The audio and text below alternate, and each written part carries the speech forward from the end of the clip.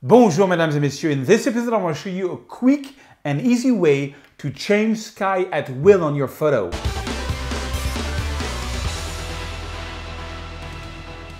Bonjour mesdames et messieurs, my name is Serge Ramelli, I'm a French photographer from the amazing, the beautiful city of Paris, France, and I live in Los Angeles, California. I make one to two tutorials per week. Click here if you're not subscribed to my YouTube channel so you get a notification every time a new video comes out. All right, let me show you in Photoshop how you can change sky at will. Alright, I want to show you one of the most easy way there is to change sky, and that is to use the multiply blend mode. Now for this to work, you need a photo with a very white sky, and you need to make it a little too overexposed like this photo. This is a photo that I shot for my good friend Nathanaelle Couture, an amazing designer. That was a model that we were in Paris with, by the Eiffel Tower, but you know the sky was it was actually pouring rain, and uh, she was just under the bridge, so the, the water was not getting to her. But you know, it's a good photo, but I wanted to see if I could add more drama. So what I do here is I have this sky that's open, which is very blue, and this one that's kind of more yellowish. Let's try with the more yellowish one. And so I'm going to use the move tool and drag and drop it over the photo. So here is my sky. I want the sun to be the other side, so I'm going to press, I'm going to go to Edit, free transform or I can press Command T. I'm going to right click and I'm going to go flip horizontal to have the sun here. I want to position it here. Now he, here's the, the few steps you do. Step number one, position your sky right at the horizon. So here is horizon. Then I'm going to take my sky and I'm going to duplicate it by dragging and dropping it here. And then, and then I'm going to press Command T again, so you know Command T, but this time I'm going to flip vertical. Okay, I'm going to hold down the shift key and drag my copy and make a perfect mirror. So now I got a perfect mirror of the sky, top and bottom. All right. I'm going to select both of this sky. I'm going to right click and I'm going to merge the layer. So now they're into one layer. This layer, I'm going to put it into a multiply mode and that's the secret. And it's going to do most of the heavy lifting for us.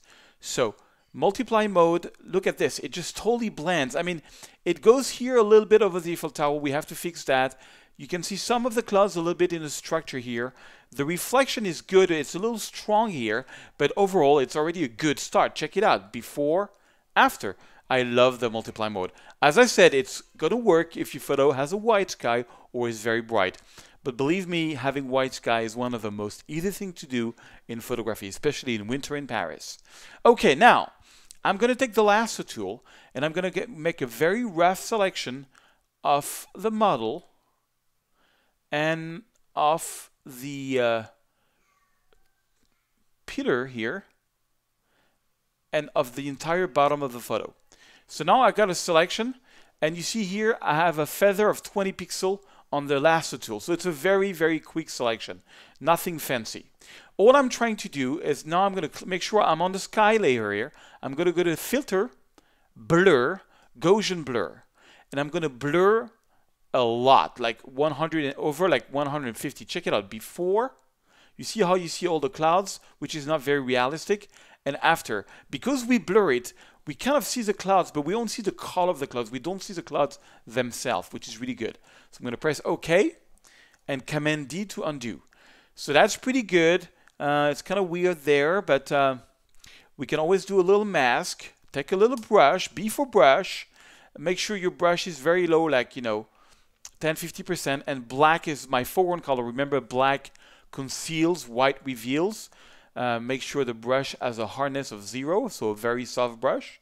And I can just brush away the, you know, the, the, the sky from, from this place here you know, wherever I want to and maybe over her.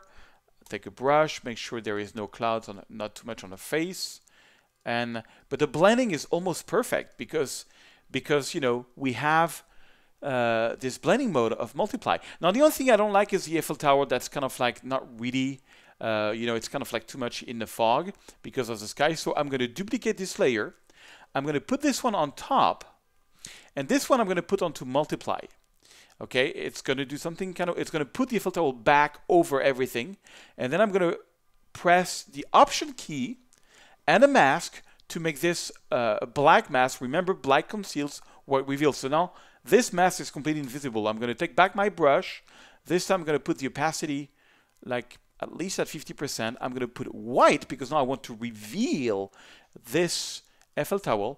And I'm just going to paint a little bit over the Eiffel Tower and the multiply mode is going to make it, you know, it's going to reveal itself. So that's one sky replacement. Uh, let's try another one. So I'm going to put this one into a group and I'm going to call it sunset. Okay?